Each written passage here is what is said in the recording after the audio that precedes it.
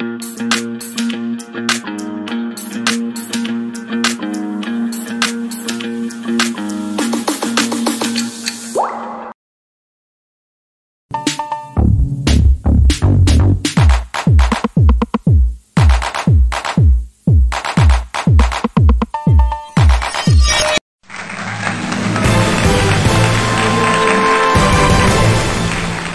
So I'm back to update you about the sad news that we have in the country. This is the Buzz UG and of course it's Melads Milo aka Fuller in the driving seat as usual.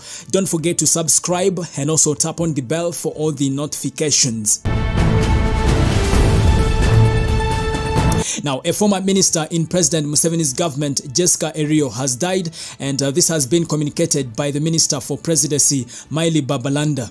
According to Minister Babalanda, Jessica Eriyo died in Texas, USA, where she had been receiving treatment, and the cause of death is said to be cancer. Now, in her own words, she said, I regret to announce the death of a member of USPC, former Minister of State for Environment and Department, Secretary General East African Community, Honorable Jessica Eriyo, who has died in Texas, USA.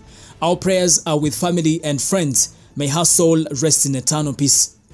Well, there you go. That is Honorable Milly Babalanda confirming the news of the death of Honorable Jessica Eriyo right there. Honorable Jessica Eriyo was born in Adjumani district in August 1969 and uh, she was only 53 years. Very young, beautiful lady right there.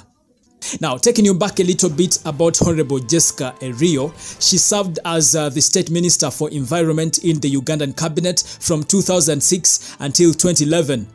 In the cabinet reshuffle of 2011, she was dropped from the cabinet and was replaced by Flavia Munaaba. She also served as the elected member of parliament representing Adjumani district uh, from 2001 until 2011. In the 2011 national elections, unfortunately, she lost to Jessica Ababiku, an independent candidate right there. It's very sad news right here and of course I thought I should pass by and update you about you know this sad news that we have in the country. This is the Buzz UG as usual. I did promise you that I'll keep you posted on everything that is happening in the country and of course from the current affairs, the entertainment industry and everything that is trending. My name is Melads Milo aka Fuller. What you have to do subscribe and also tap on the bell for all the notifications. It's a bye for now.